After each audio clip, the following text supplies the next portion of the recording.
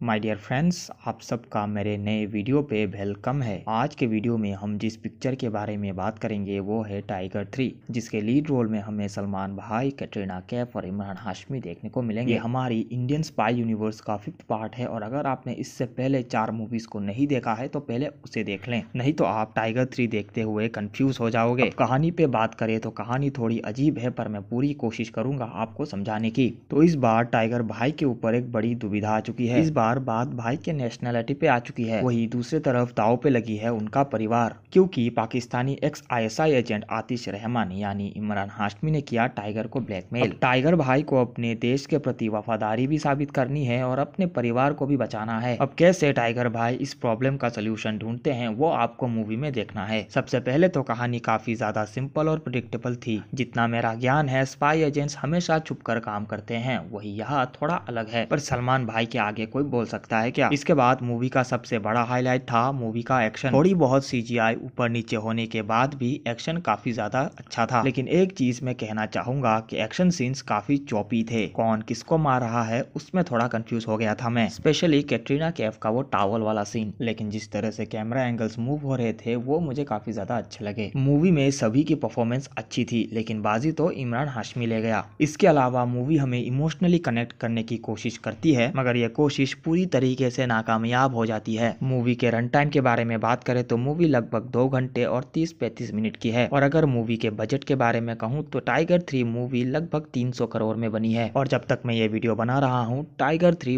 worldwide cross collection सौ करोड़ का कर चुकी है। इसके अलावा मूवी में दो केमियोज थे। एक केमियो मूवी के फ़र्स्ट हाफ़ के बाद, जिसको आप अच्छी तरीके से जानते हैं। वही दूसरा केमियो हमें मूवी के आखिर में दिखाई देता है। यानी लेके प्रभु का नाम गाने के बाद। तो गाना शुरू होते ही थिएटर को छोड़ के चले, मत जाना। अगर आपको इस मूवी को ठीक से एंजॉय करना है तो अपना लॉजिक घर पे भूल के आना पड़ेगा। तब कहीं जाके आप इस मूवी को पूरा एंजॉय कर पाओगे। और आखिर में डायलॉग्स की बात करें तो सबके डायलॉग्स अच्छे थे, मगर सलमान खान के डायलॉग्स मुझे थोड़े से क्रिंजी लगे। और मैं कहना चाहूँगा की ये मूवी सिर्फ़ एक्शन लवर्स के लिए ही बनी है। अगर आपको सिर्फ़ एक्शन चाहिए तो ये मूवी आपके लिए मस्ट वॉच है। बाकी मैं इस मूवी को पाँच में से तीन स्टार दूँगा, और आप मुझे बताना की आप इस मूवी को कितने स्टार्स दोगे। और मैं यही पे अपने वीडियो को खत्म करता हूँ। Good bye